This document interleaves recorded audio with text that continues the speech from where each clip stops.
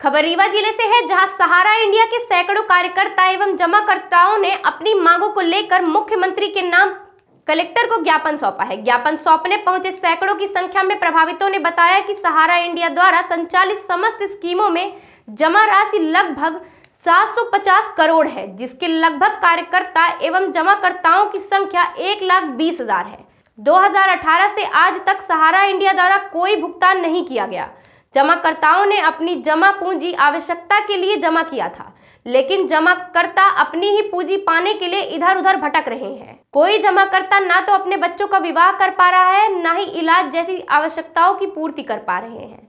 जमाकर्ताओं ने बताया कि कई बार ज्ञापन दिया, लेकिन उनकी मांगों पर सरकार ध्यान नहीं दे रही है, जिसके चलते प्रधानमंत्री गृह मंत्री सहकारिता मंत्रालय, मुख्यमंत्री, मध्य प्रदेश सरकार एवं भारतीय प्रतिभूत एवं विनिमय बोर्ड, भारत सरकार को आवेदन देकर मांग करना चाहते हैं। कार्यकर्ताओं ने चेतावनी भी दी है कि अगर 30 दिन के अंदर जिला प्रशासन द्वारा सहारा इंडिया के खिलाफ उचित कार्यवाही नहीं की गई तो सभी जमाकर्ता एवं कार्यकर्ता उग्र आंदोलन करने के लिए मजबूर होंगे। आइए आपको सुनाते हैं कलेक्ट्रेट पहुँचे पीड़ितों ने क्या कहा है।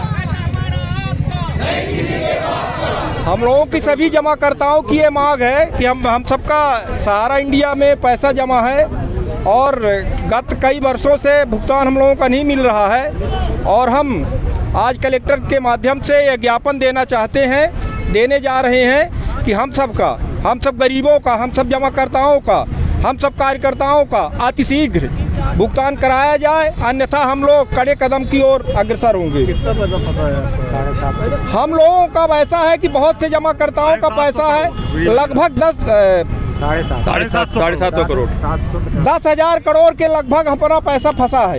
यहाँ रीवा का जिला का हम लोग सभी जमा कर कार्यकर्ता हैं। पहले भी आप लोगों ने ज्ञापन दिया था। हम लोगों ने इसके पहले पिछले महीने भी कलेक्टर महोदय जी को ज्ञापन दिया था लेकिन कलेक्टर महोदय की उदासीनता की वजह से अभी तक कोई कार्रवाई नहीं हुई। हमारे जो यहाँ अधिकारी बैठते उन्होंने ये कहा था कि हम संज्ञान लेंगे। लेकिन अभी तक किसी प्रकार की कोई संज्ञान नहीं लिया गया। अब हम लोग एकदम आक्रोश में आ करके ऐसा आंदोलन करने जा रहे हैं। यही ज्ञापन हम कलेक्टर महोदय जी को आज देने जा रहे हैं कि हम सब जमाकर्ताओं का भुगतान जिस तरह से संभव हो सके दिलाने का कष्ट करें नहीं तो हम यहाँ भूख हड़ताल पर आने वाले समय में बैठेंगे और अपना आत्मदाह करेंगे। कौन सी कंपनी है ये? सहारा इंडिया परिवार है। बता दीजिए। हमारा नाम रावेंद्र द्विवेदी है। आपको कितना पैसा फंसा? है हमारा दो लाख सत्तर हज़ार रुपये फंसा है। कब से? ये 2016 में एक था फंसा है। हमारे पति एक्सपायर हो गए हमने यहाँ जमा किया सभी कोई जमा किए। और अगले बार हम नवंबर में भी यहाँ आए थे तो वही है कि अब शासन दे देते हैं कि हम आएँगे। अगले महीना पाँच तारीख पाँच आदमी आएँगे फिर कुछ होता ही नहीं है। जितना जमा करता कार करता सब कोई परेशान है। कहते अच्छे दिन आएँगे यही अच्छे दिन आ रहे हैं। अगर कोई अपराध कर दे तो 24 घंटा नहीं होता है। हमारे मुख्यमंत्री हमारे कलेक्टर साहब तुरंत आ जाते हैं। अगर हम ही गलत कर दे तो तब के लिए समय हो जाता है। हमारा दो लाख सत्तर हज़ार रुपये फंसा है। हमारे पति नहीं है एक्सपायर हो के दो बच्चे हो इसे उन्हीं के भरण पोषण के लिए भी अब नहीं हो रहा है। क्या एजेंट है आप? नहीं हम जमा करता है। आज आप कहाँ हैं? यहाँ कलेक्ट्रेट में आए हैं। क्या नाम है आपका? सुनीता सोनी।